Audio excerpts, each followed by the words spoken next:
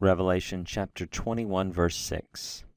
Kai epenmoi, geganon, ego emi ta alpha, kai ta omega, he arche, kai ta telas, ego to dipsonti, doso ektes, peges tu hudatas, tes zoes, dorean. Here, John the Apostle reports that the one seated on the throne is speaking to him, and, and he says, And he said to me, It is done, it is accomplished, it is finished.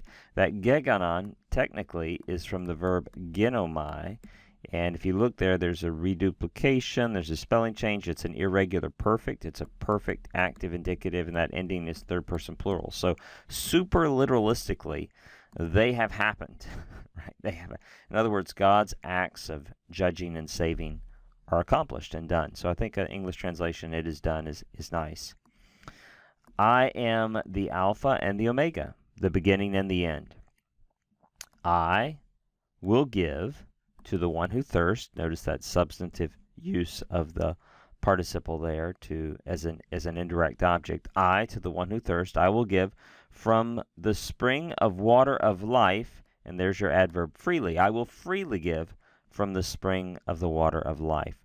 I'd like to focus in just for a moment on uh, this uh, ta alpha kai ta omega. It seems like there's a little bit of a, a mismatch there, right? Like the the letter alpha is written out, and then omega is just just the letter omega. Well, uh, Dave Mathewson, in his helpful Baylor Handbook, points out that it wasn't really until the 7th century AD that the letter omega was written out phonetically as omega. Omega. Maybe some of you have been studying Greek for years. Maybe this is totally new to you. Think omega just means big O. Sounds like a cereal.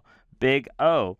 And maybe you've never thought about this as well, but omicron is just little o, right? uh, Micron, Omicron is little o and Omega is big O.